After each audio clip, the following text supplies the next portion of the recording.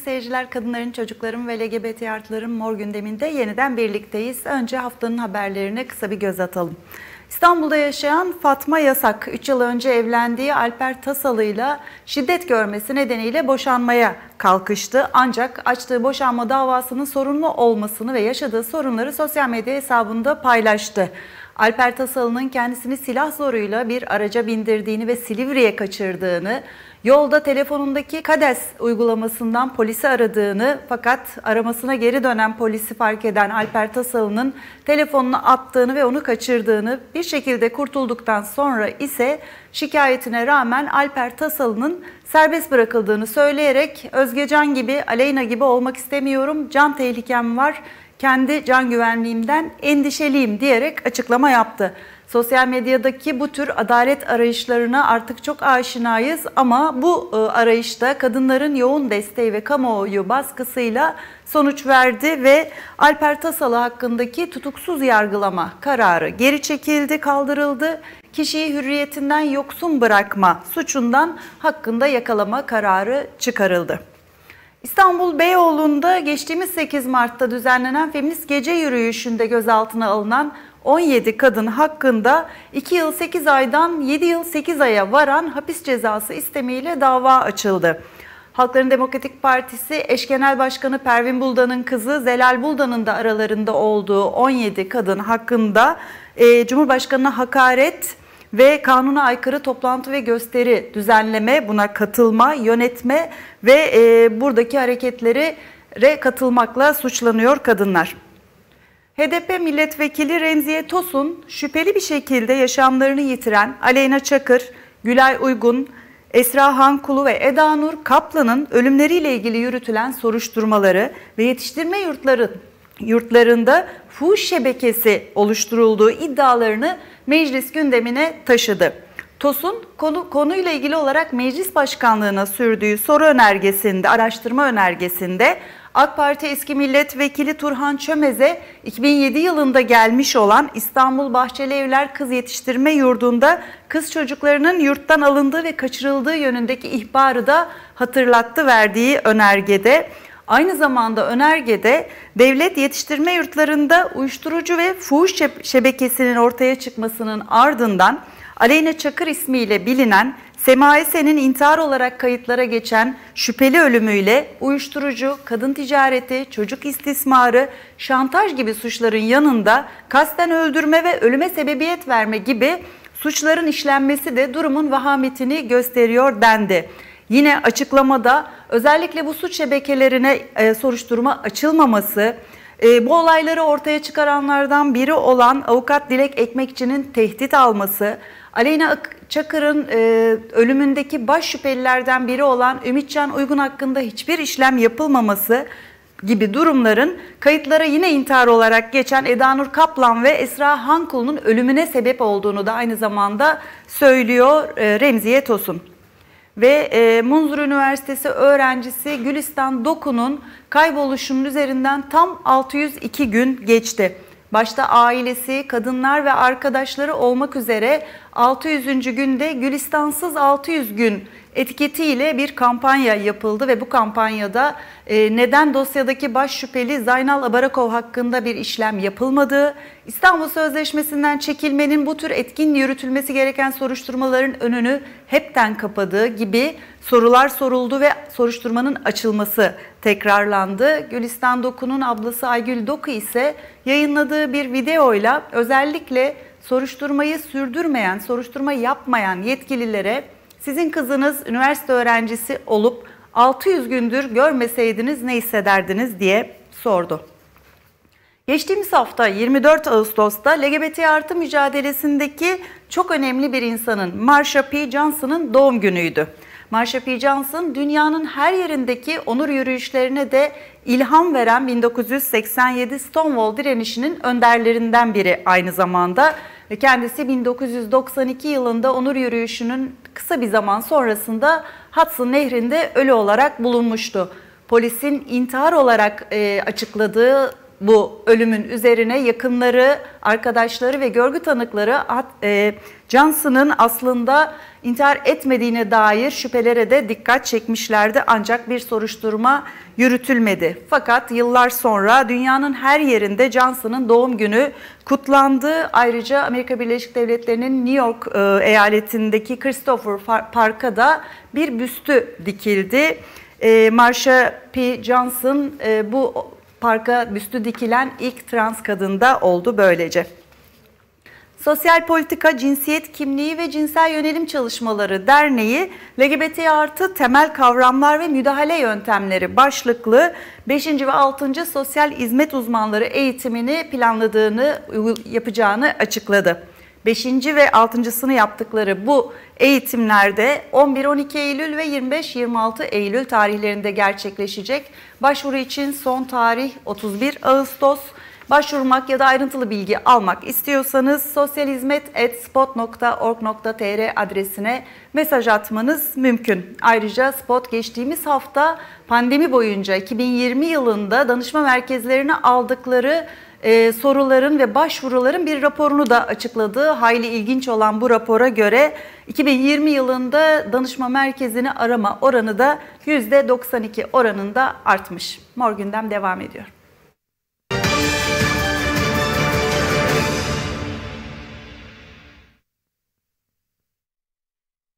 Sevgili seyirciler, Türkiye bir gün, bir dönemdir, bir süredir sadece mülteci konusunu e, tartışıyor diyebiliriz. Siyasi iktidarın tavrından ana muhalefetin konuya yaklaşımı derken bir taraftan da hakları ihlal edilmiş, korkuyla, açlıkla, e, güvenlik sorunuyla baş etmeye çalışan hatta neredeyse tek talebinin hayatta kalma e, olduğu bir yığın milyonlarca insanın ne yapacağından, nasıl bir yol izleyeceğinden bahsediyoruz bu süreçte. Bu süreci yaşayanlar içerisinde kadınların, çocukların ve LGBT artıların durumu daha da çetrefilli, daha da zor geçiyor.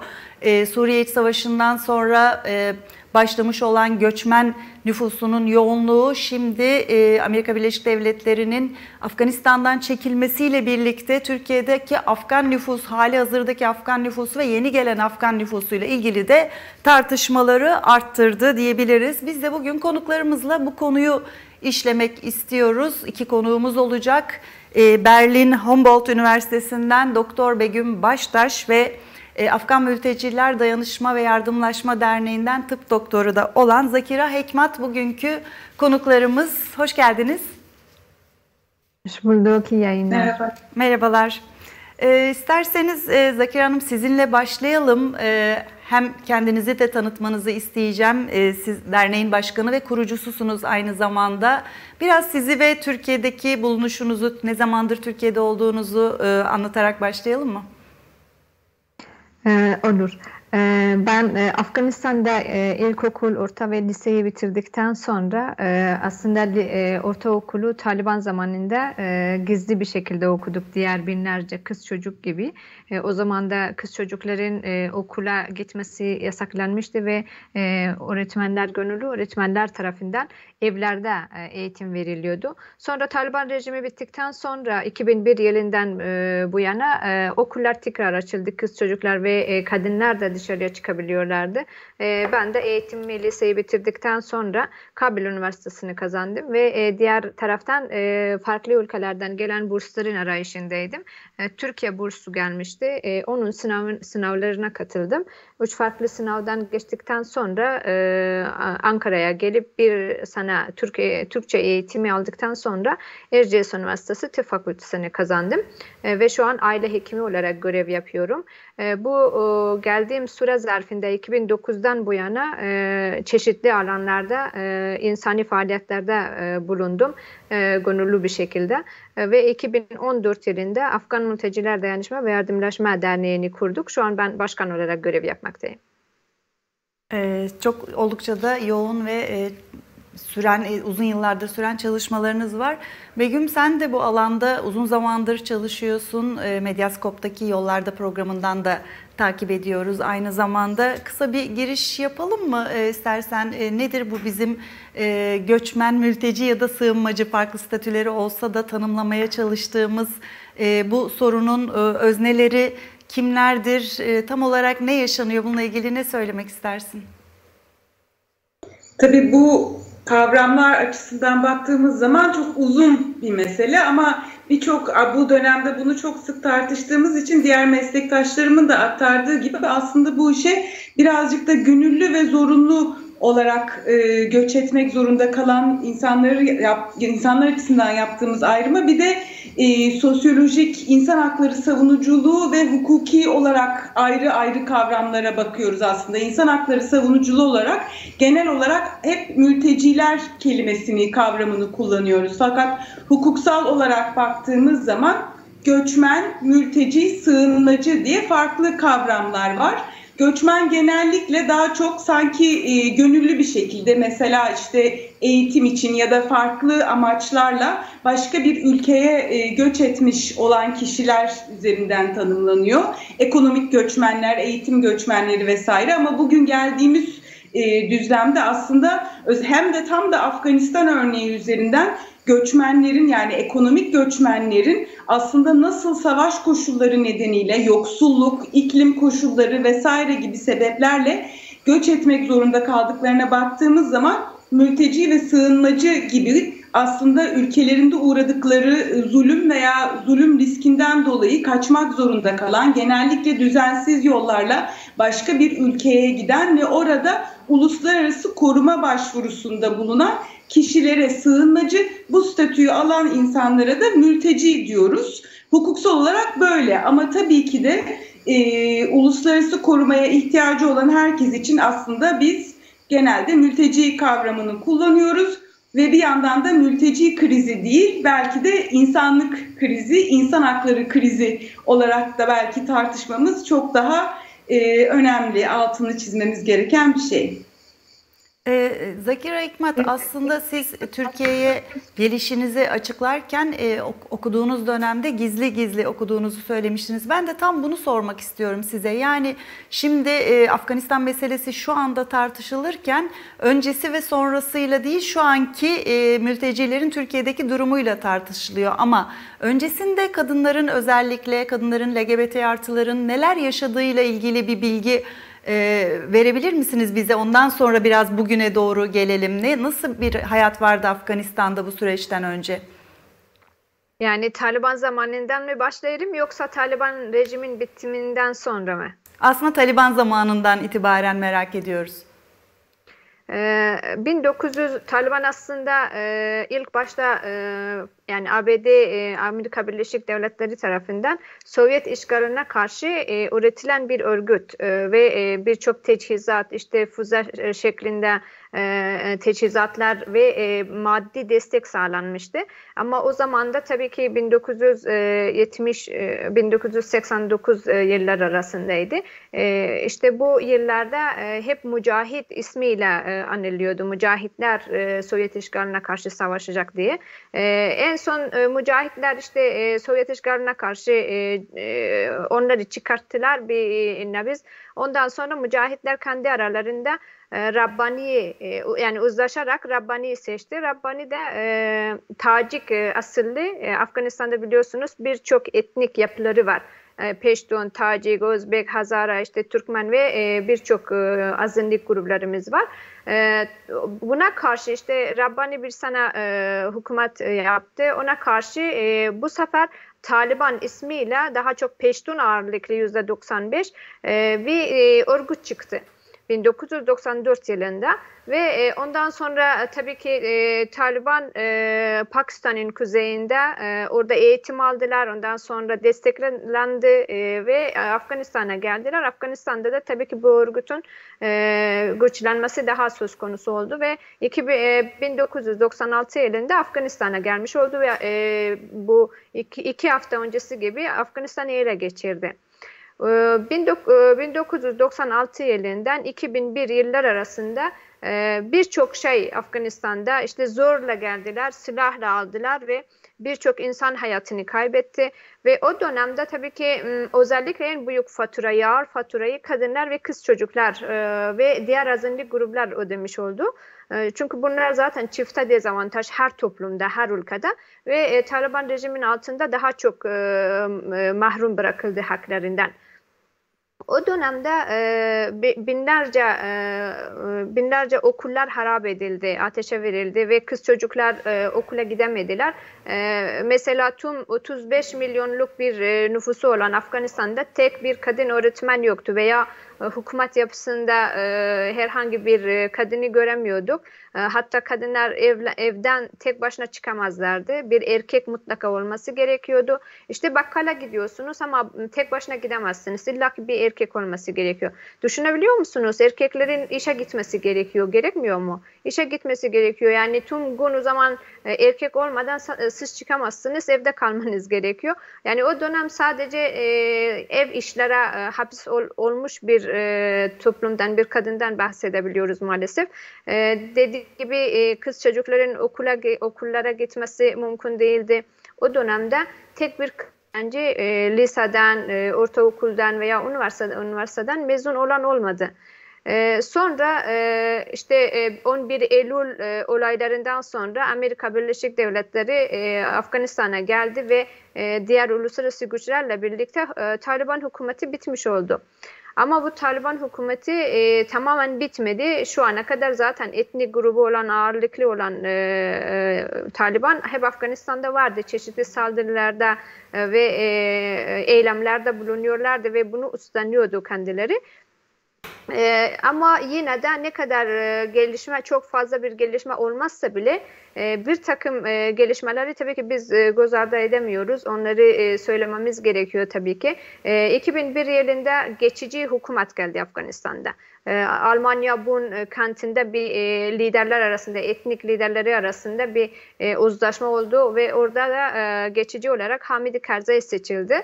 Sonra e, birkaç sene sonra e, tekrar e, insanlar e, oyla birlikte, e, oylama yoluyla Cumhurbaşkanı e, yani Başbak e, Cumhurbaşkanını seçmiş oldular. E, yine de Hamidi Karzai ve ondan sonra şu anda Ashraf Ghani'ydi bizim e, Afganistan e, hükümetin başında. Bu süre zarfında yani 20 yıl içerisinde e, kadınlar ve kız çocuklar için birçok şey değişti. Yani bu sadece yabancılar geldi de, değişti e, demiyorum ama sanki bir hapishaneden e, yani özgürlük gibi bir şey. Nasıl özgürlük? E, yani hapishaneden çıkmış oldunuz. Evden dışarıya rahat çıkabiliyordunuz. E, biz de öyleydik. Evden rahat bir şekilde çıkabiliyorduk. Birçok e, binalar daha önce okul olarak kullanılıyordu ama Taliban zamanında okul değil farklı amaçlarla kullanılan binalar tekrar e, kız çocuklara işte e, erkeklere herkese e, okul olarak açılmış oldu ve insanlar okula gitmeye başladı. Mesela bir e, aşiret olan e, illerde veya e, çocuklarını okula gönder, göndermek istemeyen ailelerde e, tabii ki kadınlar bunun için mücadeleler yapıyordu. İşte kız çocukların erken evlilik onlanması, işte kız çocukların eğitim e, eğitime e, katılması bunlar için mücadeleler başlamıştı ve 19 e, 2009 yılında kadınların e, mücadelesiyle birlikte Afganistan'da yeni bir e, yasa çıktı. Kadına yönelik şiddetle mücadele yasası. E, bunlar tabii ki e, öyle rahat bir şekilde elde edilen şeyler değil. E, şu an mesela 2021 yılında e, bakan kadın vardı, yönetmen kadın vardı, sanatçı kadınımız vardı, e, ilçe başkanlıktan tutun, belediye başkanına, ve e, birçok sivil toplum kuruluşların üst düzeyinde e, kadınları görmekteydik. Ve hatta birçok kadın e, artık diğer işleri bırakarak yani sadece eğitime odaklanmış durumdaydı. Birçok kişi yurt dışına okudu, eğitim aldı, sonra hizmet vermek için tekrar Afganistan'a döndü. Bunlar çok önemliydi, önemli adımlar var, adımlar olarak söylenebilir. Ama şimdi Taliban geldikten sonra Birçok kişi şu an tedirgin. Birçok sizin dediğiniz gibi kategoriler var. İşte kadınlar, kız çocuklar özellikle kadınlar arasında hassas grup olanlar, işte e, LGBT olanlar, polisler e, ve şunu da söylemek istiyorum. E, mesela şu an e, Afganistan'da e, biliyorsunuz gündem hep Afganistan ve e, özellikle e, tahliye işlemleri birçok ülke e, kendi personellerini, kendi vatandaşlarını götürdü Afganistan'dan ve e, onunla birlikte Afganistan vatandaşların e, da onlarla birlikte çalışanları götürdü. Ama bir kısmı e, unutmamamız gerekiyor. Kadın hakları alanında çalışan kadınlar, sanatçılar, sporcular e, ve LGBT olanlar, polisler, öğretmenler veya devlette çalışan kadınların e, geleceği ne, olacak? Onları kimse götürmedi çünkü. Çok nadir istisnai bir şekilde bazı kişiler çıkabildi. E, şu an maalesef tekrar aynı e, aslında Taliban yönetimi şu an belli değil. Bundan sonra ne olacak da belli değil. Nasıl bir e, yönetim kurulacak? Acaba bu kadın hakları ve kız çocuk haklarına gerçekten tekrar saygı duyacaklar mı? Pek emin değiliz. Yani bu kısmını aslında konuşacağız ama tam bu noktada Begüm'e şunu sormak istiyorum. Ee, özellikle bu boşaltmayla ilgili kısımda Zakira Hikmat e, başka ülkelerle çalışanların çıkarılmasından bahsetti. E, belli grupların çıkarılabildiğinden ama risk altındaki pek çok grubun kaldığından bahsetti. Bu noktada birazcık Avrupa'nın göçmen politikasını ve e, bu insanların güvenliklerini sağlanması ile ilgili durumu sen nasıl değerlendirirsin?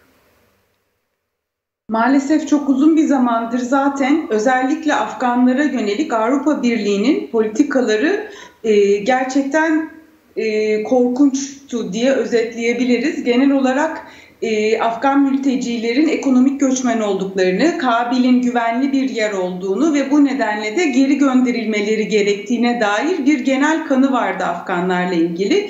Geçtiğimiz son e, bu işte Temmuz ayına kadar, Haziran-Temmuz sonuna kadar e, Temmuz başında Afgan hükümetinin geri göndermeleri durdurulması talebi üzerine Avrupa, Avrupa ülkelerinin bir kısmı geri göndermeleri durdurma kararı almıştı.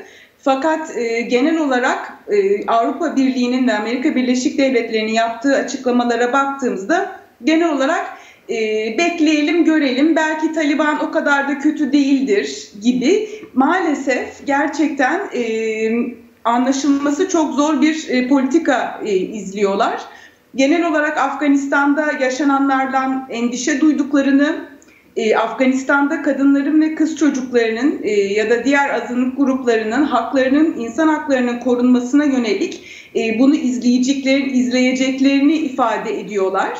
Fakat e, genel olarak e, bu hakların korunması için ne yapacaklar? Afganistan'dan Avrupa Birliği'ne sığınmak isteyen kişilere yönelik nasıl bir e, yeniden yerleştirme programı uygulanacak? Bu kişilere nasıl uluslararası koruma sağlanacak? Bunların bunlarla ilgili herhangi bir açıklama yok. Sadece bunlara bakacağız gibi bir e, bakış açısı sergiliyorlar. Ama bunun yanında da Yunanistan gibi giriş ülkelerinin en net açık en net açıklamaları bir daha 2015 yaşanmasını kabul etmiyoruz Yunanistan bir geçiş bölgesi değildir ve e, sınır güvenliği Avrupa Birliği'nin diğer metinlerine baktığımız zaman Afganistan'la ilgili açıklamaların çok büyük bir kısmını güvenlik meselesi olarak ele aldıklarını görüyoruz. Fakat şu anda karşı karşıya kaldığımız durum bir insan hakları e, durumu, bir güvenlik sorunu değil. Bunlar apayrı e, ele, ele alınması gereken meseleler. E, maalesef Avrupa Birliği'nin yaklaşımı zaten hani bundan kaç sene evvel ben Uluslararası Af Örgütü'nde çalışırken e, yürüttüğümüz kampanyalarda hatırlıyorum Hollanda gibi insan hak yani hem insan hakları savunuculuğunda hem e, LGBTİ artı hakları alanında önemli saydığımız yerlerden bir tanesi kendisini eşcinsel olarak tanımlayan ve eşcinsel kimliği üzerinden sığınma talebinde bulunan Afganları Afganistan'a, Kabil'e Kabil'e geri gönderiyorlardı. Zaten bu var olan bir uygulamaydı. O nedenle bundan sonra ne yapacağımızı bilmiyorum. E, biraz evvel senin de bahsettiğin gibi bildiğim kadarıyla dün itibariyle Hollanda, Kanada, Almanya gibi e, ülkeler e, şeydeki Kabil havaalanından ayrıldılar ve bütün işlemleri bitirdiler. Sadece Amerika Birleşik Devletleri ve İngiltere kaldı gibi gözüküyor 31 Ağustos'a kadar. Fakat yine de e, Zakira'nın söylediği şey çok önemli. Zaten hali hazırda yani ele almamız gereken çok farklı dinamikler var göç meselesinde. Bir, zaten hali hazırda olan Afganların, Avrupa'da hali hazırda olan Afganların geri göndermeleri e, askıya alınmak değil, süresiz durdurulmaları bu kişilere gelecek, güvenli bir gelecek vaadiyle sığınma talepleri, e, mültecilik statüsleri, statüleri verilmeli ve artık bir geri gönderilme korkusu olmaması gerekiyor bu insanların. Ama onun dışında da Afganistan'da bulunanların bir an evvel olabildiğince daha fazla kişinin Afganistan'dan eğer ayrılmak istiyorlarsa çünkü birçok insan da ayrılmak istemiyor. Ee, yani hani sonuçta orada kalmak isteyenler de var. bu üçüncü ayağı oluşturuyor. E, o üçüncü ayakta bundan sonra Afganistan'da Avrupa Birliği olarak nasıl insan hakları izlemesi ve çalışmaları yürüteceğiz? O apayrı bir konu. Ama e, dün İngiltere'nin yaptığı açıklamalara göre binden fazla insan İngiltere e, güçleriyle çalışıyor olmasına rağmen Afganistan'dan çıkarılamayacak. Amerika Birleşik Devletleri'nin e, Biden dün açıklama yaptı. E, bu kişilerin e, bir şekilde e, Afganistan yani geride kalanların çıkaramadıklarının 31 Ağustos'a kadar ülkeden çıkarılması için ellerinden gelenin işte güvenli yollardan çıksın. Hani artık söyleyecek bir söz bulamıyoruz. Maalesef güvenli bir yol yok. Daha detaylı belki konuşuruz ama Taliban maalesef e, özellikle ülke sınırlarındaki checkpointlerle çıkışları kontrol ediyor. İran-Türkiye girişleri zaten ayrı bir e, güvenli çıkış değil. E, ne olacak bilmiyoruz ama Avrupa Birliği e, uzaktan insan haklarını Afganistan'da korunmasını önemsiyoruz ama bize gelmesinler diyor. Az önce e, Zakira bir kısa giriş yapmıştı aslında e, Afgan Taliban'ın e, Afganistan'daki kadın haklarına saygılı olacağını olacağına dair bir açıklaması oldu. İktidarını da yeni yeni yani tekrar yeniden inşa etmek üzere sevimli görünme çabası olarak da yorumlanabilecek olan bu açıklamayı Samimi bulup bulmadığınızı bir sormak istiyorum. İkincisi özellikle Begüm'ün bahsettiği güvenli yol diye bir şeyin mümkün olamadığı bu ortamda e, bu yakadan Türkiye'den çok sık söylenen sadece erkekler geliyor, e, kadınlar, çocuklar onlar gelemiyor mu? Bununla ilgili bir bilgi var mı elinizde? Siz e, bize açıklayabilir misiniz bunu? Ee, şimdi e, yani Taliban Afganistan'da bir dönem geldi ve e, insanlar özellikle kadınlar, kız çocuklar, azınlık grup olan sivil halk e, yaşadı. Taliban rejimin altında yaşadı ve deneyimleri var. Bu deneyimleri tabii ki biraz önce söylediğim gibi kara bir dönem maalesef. hatta infaz, işte taşlama, kırbaç ve e, diğer e, işte oja sürdü diye parmak kesilme bu, bu ceza türleri hep yapıldı Afganistan'da. Şimdi insanlar ondan korkuyor. özellikle kadınlar, işte kız çocuklar ve diğer sivil halk, azınlık grup. Şu an aslında bir belirsiz bir dönem. belki şu an belli değil. Acaba gerçekten eski Taliban mı yoksa değişti mi? E, aslında basın açıklaması e, açıklamaları ilimli, iyi, daha yumuşak, e, bazı şeyleri daha düzeltme yolunda işte ilk başta mesela kadınlar e, geçici olarak e, evde durmaları gerekiyor. İlk başta şu basın açıklaması yap, yapılmıştı. E, Zabihullah Mücahit basın sözcüsü tarafından. E, kadınlar da diğer insanlar gibi dışarıya çıkabiliyor, iş yerlerine gidebiliyor, rahat bir şekilde hayatlarını devam edebiliyor. Ee, ama e, insanlar gittiğinde e, iş yerlerine alınmamıştı. Üniversiteye e, akademisyen kadınlar ve kız çocuklar alınmamıştı. Sonra bir açıklama daha yapıldı. Kadınlar şu an evde kalsınlar bir süre, bir geçici bir süre için. Çünkü bizim üyelerimiz daha onlarla nasıl davranacağını bilemiyor şu an için. Bir geçici kalsın demiştim. Sonra bir basın açıklaması daha yapıldı. Ee, kadınlar tek başına yolculuk yapamıyor diye. Sonra düzeltme oldu. Ee, eğer üç günlük bir yolculuksa, e, üç günlükten daha uzun yolculuksa o zaman e, bir erkekle gitmesi gerekiyor. Bunlar şu an aynı eski şeyleri hatırlatıyor. Ama daha yumuşak bir şekilde. Ee, eğer şöyle bir şey de var, şu an e, insanlar değişmeyeceğini düşünüyor. Yani ben de öyle düşünüyorum. Ama şöyle bir alternatif olabilir. Şu an çünkü Afganistan eski Afganistan değil e, Afganistan'da bir hükümet yapısı vardı. Bir e, insanlar işte birçok haklara e, erişmişti. Parlamentosu vardı, işte bakanları vardı. Eski Afganistan gibi değildi. Yani herhangi bir hükümetin olmadığı dönem yoktu. E, şimdi de e, Taliban hükümet yapma, e, kurma aşamasında, huk, hükümet kurma çabalarında şu an ve bunu da tabii diğer e, ülkeler tarafından da meşruiyet kazanması e, gerekiyor. Onun için şu an birçok şeye el atmış durumda ve e, yani tamam e, bazı şeyleri şu an mesela hatta liderleri de diğer ülkelerin e, liderleriyle birçok ülkeyle görüşmeler içerisinde kapsayıcı bir hükümet olsun, tüm etnik grupları, azınlık gruplar e, olsun ama e, bir e, duyum daha var. E, Taliban e, söylemiş ki e, e, hükümetimiz 12 kişilik bir şura tarafından e, bundan sonra yönetilecek. Bu 12 kişilik eğer e, sadece Peştunlerden bir etnik grubu olursa o zaman çok ciddi bir sıkıntı oluyor. Ee, şimdi her şey bekle ve gör e, politikası şu an aslında. Yani bir şey şu an diyemiyoruz. Belki e, uluslararası toplum tarafından bir yaptırımlar karşısında bir e, baskı olursa belki kadınlara e, hatta, hatta şu an bile söyledim kadınlar e, tüm haklardan faydalanabilir ama şeriat kuralları içerisinde ve bizim yasalarımız yani kurallarımız çerçevesinde olması gerekiyor. Bunlar şu an e, çok çok belirsiz ve insanlar tedirgin. Ne olacak belli değil. E, bunu e, aslında şu an söyleyebiliriz. E, ikinci sorunuz göçle ilgili miydi? Evet, evet özellikle... Bekar erkekler evet, niye evet. diye. Ee, özellikle bu bir ay, iki ay öncesi daha e, çok ciddi bir şekilde Türkiye gündemi de olmuştu. Ee, aslında göç konusu farklı zaman dilimlerinde hep gündem olmuştur ve e, hep kullanılmıştır e, maalesef.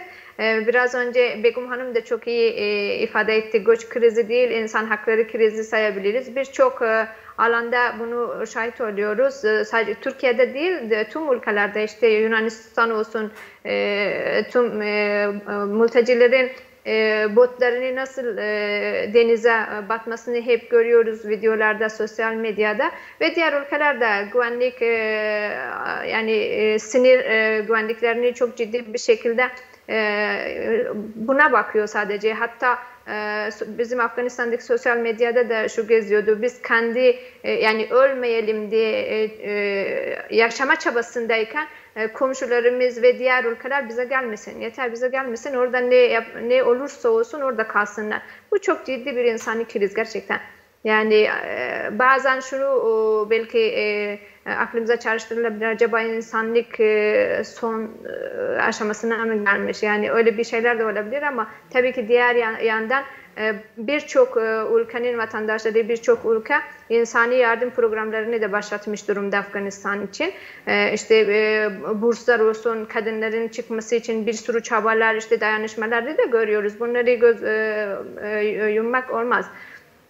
Şimdi e, Taliban Afganistan'a gelince eski zamanlarda da e, aynı şeyi yapmıştı. İşte tek tek evlere gezip e, işte e, bekar erkekleri militan olarak kendi e, üyeleri için e, seçiyorlardı. Orada çünkü zorla gelen bir e, yönetim hiç kimse silah ellerinde olmayan bir kişi ne yapabilir? Eğer kar, zaten karşı çıkan olanları hep öldürdü Afganistan'da. Hatta yaşlı olanları mesela e, köylerden bunları duyduk. İşte e, konuştuğum kişiler söylüyor. E, mesela bir eve gitmiş, araba istemiş. Araba demiş ki arabam bozuk. E, bozuk deyince direkt öldürüyor. Niye sen vermiyorsun diye şeklinde. Ondan dolayı insanlar korkuyordu ama bu ABD ve uluslararası güçlerin Afganistan'dan çekilmesiyle e, birlikte e, ellerinde para parası olanlar olmayanlar da borç alıp e, genç erkekleri e, yurt dışına çıkartmasını istedi. E, bunun e, en önemli örneğini de e, 15 Ağustos gördük hepimiz birlikte. Görmeyen bence yoktu. Uçaklara gittiler. Uçakların kanatına binmeye çalıştılar. Yani 16-17 yaşındaki çocuklar. Ee, bunlar hep e, Taliban rejimin altında ve militan olmak istemeyen kişiler. Hepsi yığılma bir şekilde e, şu an bile e, havaalanında biliyorsunuz üstünde üç tane patlama peş peşe oldu ve bir sürü insan 60 kişi e, sivil halk e, hayatını kaybetti. Onların içerisinde tabii ki çocuklar da vardı. Şimdi göç meselesine tekrar gelmek istiyorum. Birisi bu buydu bu, bu neden. Ee, diğer neden e, biz e, sinir ülkesi değiliz. Suriye Suriye gibi değiliz biz. Afganistan ta e, bin yani binlerce kilometre kat ederek yürüyerek yürüme mesafesinden e, Pakistan'a, İran'a gidip ondan sonra e, Türkiye'ye gelmesi gerekiyor. Şimdi Pakistan'a gidiyor ondan sonra kaçakçılar tarafından bir sürü e, para isteniyor. Sonra İran'a veya e, Afganistan'dan direkt İran'a gelip oradan da e, Türkiye'ye geçmek isteyen bir sürü para vermeleri gerekiyor kaçakçılara. Ve o para karşısında kaçakçı bunu e, düzgün bir yoldan getirmiyor. Yani normal arabayla getirmiyor. Yürüyerek dağlardan işte gece gündüz hatta birçok kişi anlatıyor biz şu kadar gece şu kadar e, gündüz e, hiçbir şey yiyemedik. E, şu, şu şeyleri gördük. Yani çok ciddi e, tehlike, e, tehlikeli şeyleri anlatıyor. İşte e, mesela dağlardan biz koşarken şu kadar kişinin düştüğünü biz gözlerimizle gördük. Bunları anlatıyorlar. Yani çok ciddi ve sıkıntılı bir yoldan geliyorlar. Bir de biliyor, biliyorsunuz ki tüm ülkelerde işte Pakistan ve Türkiye'de de İran'da da sinir güvenlikleri çok ciddi önlemlerle şu an koruyor, korunuyor. Özellikle iki aydan bu yana Türkiye sınırı termal kameralarla işte çok ciddi bir şekilde önlemler alındı ve e, insanlar e, gelemiyor. Yüzde e, hatta bir son bir ay içerisinde yüzde 80 e, azaldığını e, söylüyorlar. Bölgedeki çalışanlar ve sivil toplum kuruluşların lider e, temsilcilerin gittiğini gözlemlediğini e, söylüyorum ben. E, şu an için e, bunu söyleyebiliriz ama Afganistan'dan şu an için e, herhangi bir göç söz konusu olamaz şu an için diyorum. Çünkü Taliban bir hükümet kurma çabasında ve e, hatta basın açıklamasında da söyledi artık biz artık Afganistanlı vatandaşların bundan fazlasını biz izin veremiyoruz e, dışarıya çıkmasına. İzin veremiyoruz çünkü onlar için de bir dış politikası tabii ki zarar görüyor. Hani biz onlardan bir sürü insan kaçmak istiyor çünkü e, yani korkuyorlar. Bunu istemiyorlar kendileri. Diğer yandan da e, şey sinir bölgeleri işte Hirat ili ve birçok iller hep Taliban Taliban'ın kontrolünde ve sınırlarda hiç kimsenin geçmesine izin verilmiyor. Diğer yandan hem Pakistan hem İran hem Türkiye sınırlarında güvenlik önlemleri artırıldı. O yüzden insanların gelmesi çok zor. Ama bu gelmeyecek diye e, anlamına gelmez. E, belki e, Afganistan'da bir hükümet kurulacak Taliban tarafından. Bu hükümet eğer e, daha yumuşaksa insanlar özgür bir şekilde yaşayabilirse, haklara ve hizmetlere eşit bir şekilde tüm etnik gruplar faydalanabilirse o zaman insanlar zaten başka bir yere gitmek istemiyor ki. Yani taş kendi yerinde ağırdır. Hiç kimse mülteci olmak istemiyor, sığınmacı olmak istemiyor. Eğer e, ülke güvenli değilse, işte kara eğer güvenli değilse insanlar denize gidiyor ve denizde boğularak hayatını kaybediyor. E, Afganistan'daki durum da aynı şekilde. Eğer e, güvenli bir yerse o zaman herkes normal hayatını eskisi gibi devam edecek. 35 milyon kişi zaten gelemez. Ama eğer hayat e, zulüm yapılıyorsa, işte azınlık gruplar öldürülüyorsa eskisi gibi katliam yapılıyorsa, kadın hakları ve kız çocuklar okula gidemiyorsa, bunlara, bunlara e, izin verilmiyorsa o zaman tabii ki insanlar mecburen kaçmak zorundadır. Evet aslında Zakira tam bu noktada Begüm'e söz vermek istiyorum. Çünkü e, çok açık söylediniz. Kimse mülteci olmak istemez. E, bu kısımdan sonra gittikleri yerlerde neler yaşıyor mülteciler? Aslında yani Türkiye, Yunanistan ya da Avrupa Begüm değişiyor mu bir şey? E, mültecilerin e, özellikle kadınların, çocukların ya da LGBT artıların e, ya da burada ucuz iş gücü olan kısmının neler yaşadığıyla ilgili ülkeler arası bir farklılık oluyor mu? Neler yaşıyor mülteciler gittikleri yerlerde? Ona değmeden evvel izninle küçük bir şey söylemek istiyorum. Bunun altını çizmekte çok önem görüyorum. Zaten Zakir Hanım her şeyi çok güzel anlattığı için tekrar etmeyeceğim ama e, bütün bu kadın ve kız çocuğu söylemi içerisinde bugüne kadar 2000'li yılların başında bu savaşın e, ve Afganistan'ın işgalinin Amerika Birleşik Devletleri tarafından Afganistan'a demokrasi getiriyoruz, kadınları özgürleştireceğiz politikası üzerinden geldiğini ve bunun üzerinden meşrulaştırıldığını unutmamamız ve özellikle de kadın haklarını korurken ya da onları savunurken şu anda Zakira gibi Afganistan'da da birçok kadın hakları savunucuları çok ciddi bir şekilde direniyorlar. E, gazeteci kadınlar e, işlerine gönderilmezken sokakta e, film çekmeye işte yani görüntü almaya devam ediyorlar, haber yapmaya devam ediyorlar, yazmaya ve konuşmaya devam ediyorlar. O nedenle bütün bunları e, tartışırken her zaman e, özellikle Batı yakasından bakarken ben hani Avrupa Birliği ve Amerika tarafından tabii ki de bakarak konuşuyorum şu anda. Burada e, bu eski hatalarımızı tekrar etmeden bundan sonra ne olacağını bakmamız gerektiğini ve bundan sonra nasıl müdahale olacağız ve kadın ve çocuk haklarının LGBT haklarının nasıl korunacağı konusunda izleme çalışmaları, e, yaptırımlar üzerinde konuşurken bu e, dilimizin e, önemini hatırlamamız gerekiyor ki e, bu batının üstenci e, dilini biz tekrar etmeyelim. Zakira'nın da dediği gibi bütün bu hakları daha e, doğru bir şekilde savunabilelim. Çünkü aslında buraya geldiklerinde de e, insanlar e, ayrımcılığa uğramaya devam ediyorlar. Biraz evvel de dediğim gibi Afgan mültecilerin son yıllarda kabul oranları çok düşük. İlk 2000'li yıllarda yani bu birazcık da şey üzerinden de bakmak lazım. Kabaca söylemek gerekirse Batı dünyasının popüler savaşları oluyor dönem dönem.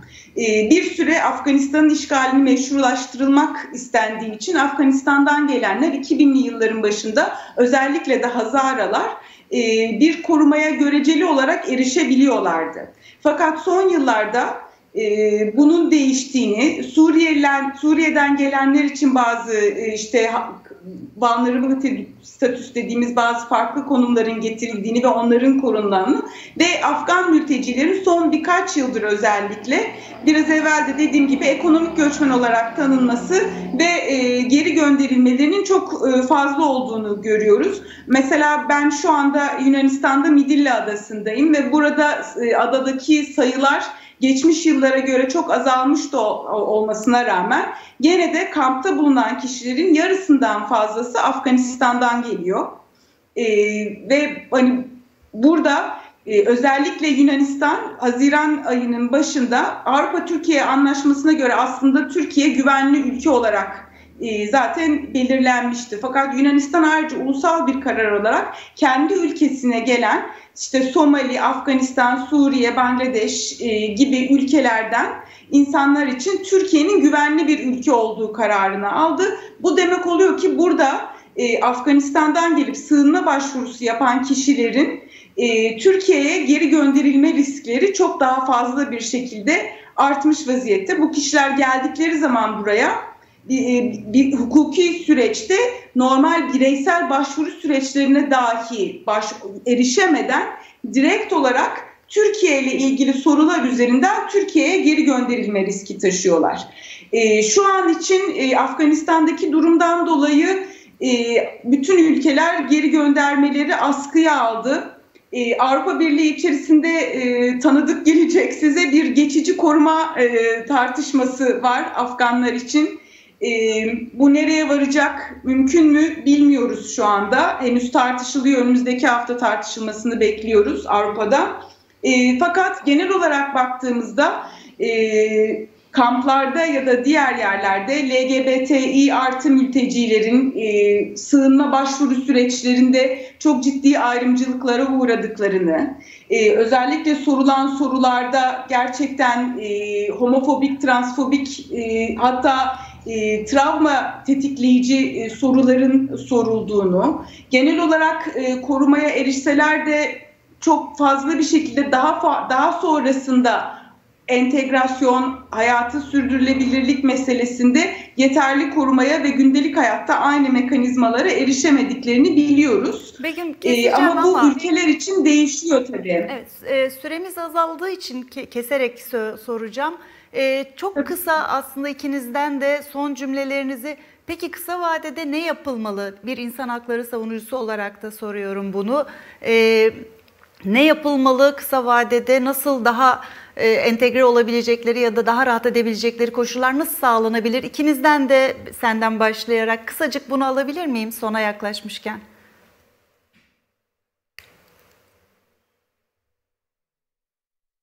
Begüm duyabiliyor musun? Ben konuşacağım Begüm Hanım. Begüm. Ha ben kendi biraz evvel konuştum diye Zakir Yok oradan yani hemen belki önerilerini de eklersin diye sordum. Evet evet. Yok genel olarak aslında en önemli meselelerden bir tanesi bu Mor Gündem'de de yaptığımız gibi medyanın dili üzerinden. Medyanın dilinden başlayaraktan genel olarak e, göçmenlere, mültecilere, sığınmacılara yönelik e, ayrımcı söylemin durması ve bunun genel politikalarla korunması gerekiyor. Bu hem Türkiye'de hem de Avrupa Birliği'nde mücadele ettiğimiz en önemli alanlardan bir tanesi. Gerçekten e, birçok meselede politikalar değiştirilsin, hukuk sistemi değiştirilsin, Türkiye'de işte mültecilerin statüsü tanınsın gibi uzun soluklu şeyler tartışılıyor. Fakat biz şu anda Afganistan'da bugün ne yapmamız gerektiğini, bugün acilen 31 Ağustos'a salı gününe kadar acilen herkesin olabildiğince oradan çıkarılması ve bundan sonra Afganistan üzerinde yaptırımlar için birebir Avrupa'da e, lobi ve savunuculuk yani insan hakları savunuculuğu yaptığımız çerçevede Afganistan'a ve Taliban'a yaptırımların yürütülmesi gerektiğini düşünüyorum. Çünkü e, gerçekten ben de e, Zakira gibi Taliban'a güvenmiyorum ve bundan sonra bizi en çok korktuğum şeylerden bir tanesi dünkü saldırılardaki tartışmalarda da gördüğümüz eğer Afganistan'daki e, durum Afganistan içinde kalır, Avrupa Birliği'ni tehdit edecek güvenlik tırnak içerisinde söylüyorum güvenlik sorunu haline gelmezse çok yakın bir zamanda Avrupa Birliği'nin krizden krize bizim ülkemizde de olduğu gibi atlandığı gibi Afganistan'ın her şeyi kendi iç politikası olarak bırakılacak ve Afganistan unutulacak diye korkuyorum. O nedenle unutulmaması için olabildiğince şimdiden oradaki kadınlarla LGBTİ hak savunucularıyla bir arada durarak dayanışma içerisinde şimdiden politikalarımızı belirleyip yaptırımların uygulanması için baskı kurmamız gerekiyor. Zakira senden de son sözünü alalım mı bu konuda? Begum Hanım çok güzel anlattı. E, ağzına sağlık. E, şimdi e, tüm dünyada e, aslında ben şeyi söyleyeyim istiyorum tekrar. Şu an e, Afganistan'dan tahliye işlemleri devam ederken birçok e, bazı ülkeler e, Afganistan'daki vatandaşları götürmeden kendi vatandaşlarını ancak götürdü. Onların da hayatı e, gerçekten risk altında ve e, belki e, gelecek dönemde e, risk altına daha ciddi bir şekilde risk altına girebilir. Taliban'ın kara listesinde de olabilir. Kafirlerle çalıştıkları için e, onların e, söylediğine göre. E, şimdi onların çıkartılması gerekiyor ve biraz önce bahsettiğim kategoriler e, çok önemli kadınlar için. E, söylediğim kategorilerin çıkarılması gerekiyor. Çünkü onlar e, aktivist olarak veya diğer kategoride işte polisler söylemiştim. E, onlar herhangi bir ülkeyle çalışmamışlar. Herhangi bir ülke onların e, çık çıkarılması ile ilgili herhangi bir planı yok. O yüzden onlar tamamen ortada ve can güvenliği yok. Onların çıkarılması gerekiyor herhangi bir e, ülke tarafından veya uluslararası güçler tarafından. Diğer yandan şunu unutmamamız gerekiyor. Afganistan'dan herhangi bir nedenden dolayı daha önce herhangi bir ülkeye sığınmış e, da o sığınmış e, kişilerin geri gönderilmemesi gerekiyor şu an. Hatta bazı ülkelere şu anda biliyoruz yani tamam askıya alındı ama yine de tutuklanmalar var. tutuklayıp da geri gönderme merkezlerinde bulunan kişiler var. Bunların e, serbest bırakılmasını e, bırakılmasında fayda var ve yeni gelen kişiler zaten e, birçok ülkede kayıt altına da alınmayan e, sığınmacılardan bahsedebiliyoruz. Bu kişilerin kayıt altına alınması gerekiyor. E, çünkü can güvenlikleri yok. Herhangi bir nedenden dolayı daha önce gelmişse gelsin. Politika ne olursa olsun daha önceki politi Afgan politikası, Afganistan politikası değişmeli ve e, yeni bir politikayla e, bu kişilerin e, korunmasını istiyoruz. Biz korunması gerekiyor. Çok teşekkür ederim. Her ikinize de e, programımıza katıldınız ve hem e, Zakira hem Begüm ikiniz de Afganistan'dan ve süreçle ilgili bizimle fikirlerinizi ve katkılarınızı paylaştınız. Teşekkürler. Biz teşekkür ederiz. Sevgili seyirciler bugün de özellikle Afganistan'dan gelen mülteciler özelinde Türkiye'deki mülteci politikasını ve mültecilerin yaşadıklarını konuştuk konuklarımızla. Önümüzdeki hafta görüşmek üzere.